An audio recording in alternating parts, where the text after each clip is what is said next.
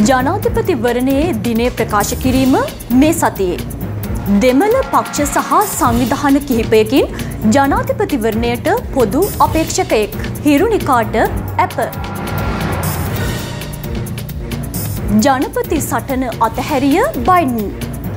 අවුරුදු පණහක් පාර්ලිමේන්තුවේ ඉඳලා රට කරන අය මේ රටට මෙහෙම උනේ ඇයි කියලා ජනතාවගෙන් ප්‍රශ්න කරනකොට හිනා හිනා හිනා හතර හිනා කියලා අද ටෙලිවැකියෙන්.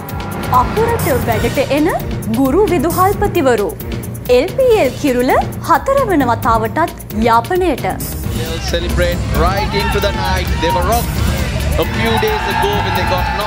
මේ සියලු තොරතුරු ගැන සවිස්තරව දැනගන්න.